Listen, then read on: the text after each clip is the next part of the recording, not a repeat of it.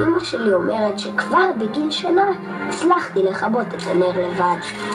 יש לי זיכרון עמום מפורים. נדמה לי שהתחפשתי לפרפר, אולי ציפור? אני זוכרת היום שבו קיבלתי את ברונו.